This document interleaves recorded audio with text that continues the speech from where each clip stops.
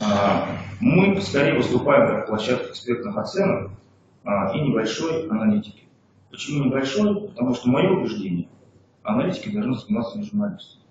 Есть достаточно большой пласт отраслевой аналитики, есть тех же крупных компаний, очень сильные, очень хорошие и юридические отделы, и технические отделы, и отделы, которые занимаются таможенным управлением, и те, кто занимается налоговой политикой и.